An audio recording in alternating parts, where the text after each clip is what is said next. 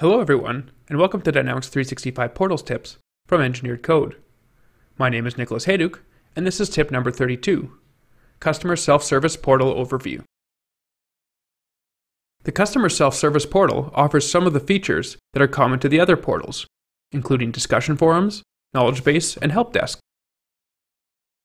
The help desk functionality extends the traditional Dynamics 365 customer service experience to your portal, specifically around the case entity. Users can submit new cases, view and update open cases, and mark them as resolved. The case deflection is something worth mentioning.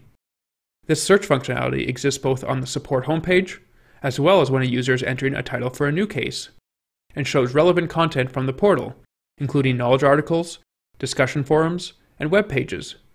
The goal here is to encourage the user to leverage existing resources before creating a new support case.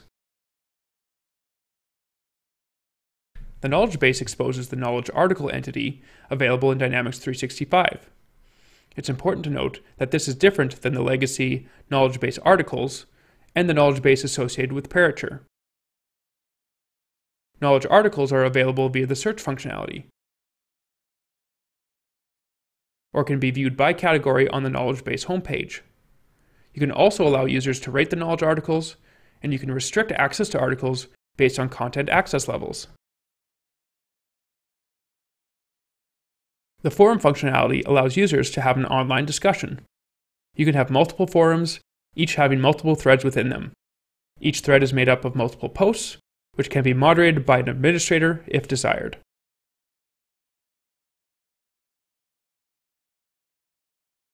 While the customer self-service portal shares much of the functionality with the employee self-service portal, there is one key difference, and that is authentication.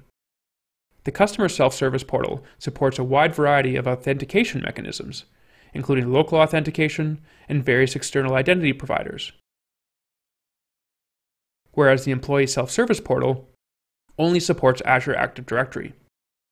Also, the customer self-service portal exposes much of the content on the portal, such as discussion forums and knowledge base, to anonymous users, whereas the employee self-service portal requires authentication to see this content.